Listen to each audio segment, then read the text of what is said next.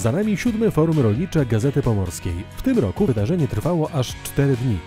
Jednym z najważniejszych punktów w programie forum była debata z udziałem wówczas urzędującego ministra rolnictwa Jana Krzysztofa Ardanowskiego i byłych szefów tego resortu.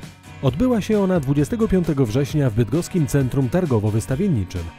Wcześniej przez trzy dni transmitowaliśmy na żywo panele tematyczne. Taka formuła była bezpieczniejsza ze względu na pandemię i przyczyniła się do rekordowej liczby odbiorców.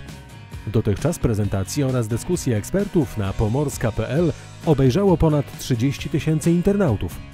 W trakcie gali podsumowującej w Bydgoskim Centrum Targowo-Wystawienniczym rozstrzygnięto także konkursy na Rolnika Roku i Sołtysa Roku. Kujawsko-Pomorski Ośrodek Doradztwa jest współorganizatorem i tematyka przewodnia jest Zielony Ład. E-Bazarek to jest naj, najprostsze przełożenie Zielonego Ładu. To znaczy e, zmniejszenie śladu środowiskowego i śladu, i śladu węglowego, czyli produkcja wyprodukowana w gospodarstwie, przetworzona i czeka na konsumenta. No nie ma krótszej drogi jak łączenie konsumenta z producentem.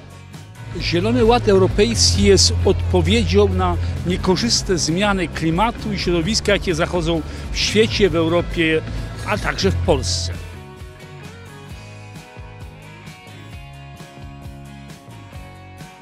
Myślimy bardzo o tym, żeby wspomóc nasze środowisko. Będziemy o nie dbali. Następne kroki pokażą, co da się dalej zrobić.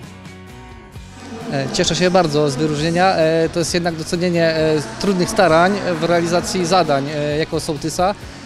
Ale tu mówię, przede wszystkim dziękuję bardzo mieszkańcom, którzy wspierają sołtysa i też sołtys realizuje zadania mieszkańców. Nie swoje, tylko mieszkańców.